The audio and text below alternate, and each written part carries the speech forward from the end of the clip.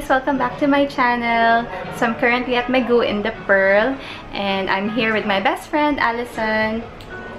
So previously, they had a launch for their new menu which I attended and they gave us um, attendees a voucher for dinner or lunch for two. So I've decided to take Allison with me tonight so she can experience the new menu and hopefully she'll enjoy herself. She'll love the orders because I enjoyed their food last time during the lunch.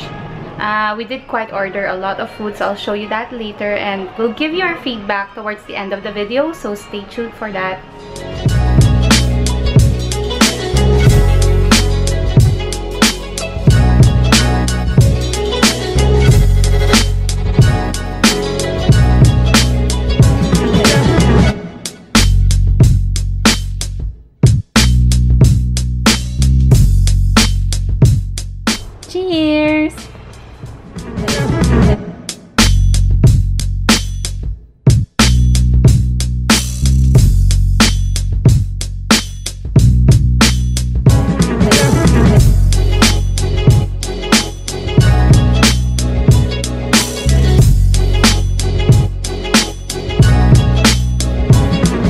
Okay, so we just finished our dinner. We had some mochi for dessert. And now I'm just gonna ask Allison what her favorites were. So what did you like most? the crispy asparagus. That was Mhm. nice. Rock and roll, sushi, and the salmon. The salmon in chat Chan Chan style, I think. Chan style. I think. Yeah, that was good, but I I had too much to eat, so I couldn't finish everything. we did share a lot of it, but still we couldn't manage to finish everything. We had That's gluttony. yeah, we had a lot We of just committed a sin. Yeah, so anyway, my favorites, if you were curious, were the Ramen, for sure. The ramen was okay. I really liked the broth overall.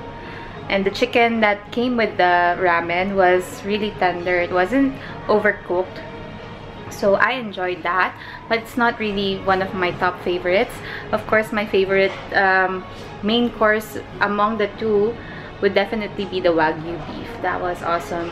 Uh, they had four flavors, but among the four, my favorite was the the one with the um, black sesame seeds on top. Yeah, and then for our appetizers, I really like the um, wasabi prawns. Wasabi prawns, right? Yeah. And their rock and roll sushi. Uh, would you recommend it? Honest opinion. Um, I don't know. I'm quite torn. Because they're quite expensive here in Megu. And I don't know. Maybe for special occasions, yes.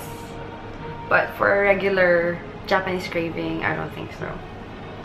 For me, I'd recommend it um, because I've dined here previously based on their old menu. It was much more expensive than their current menu. For now, I think it's a bit It's just because I can't remember the last time we've been here and I don't remember the price range.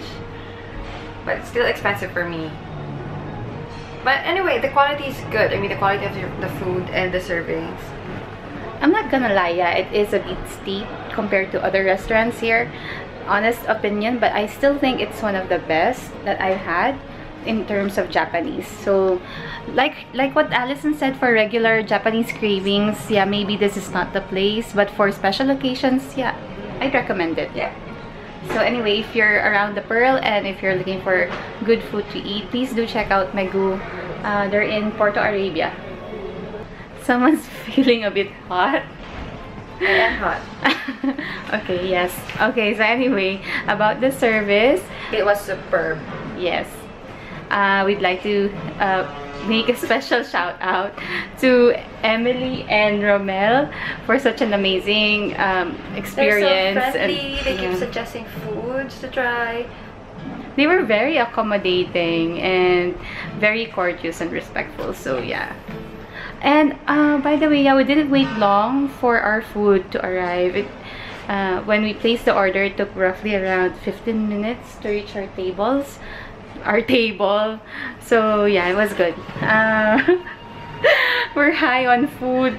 But anyway, we had an amazing experience Oh, overall. plus, plus, plus. This is not sponsored by Megu. Yeah, by the way, I forgot to mention this is not sponsored by Megu. I'm doing this video out of my own free will.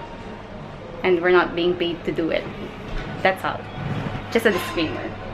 Thank you for watching and sticking out this video with us. So we'll see you again next time. Subscribe. Yes, please don't forget to subscribe to my channel and give it a thumbs up if you enjoyed it. So yeah, I'll see you on the next one. Bye.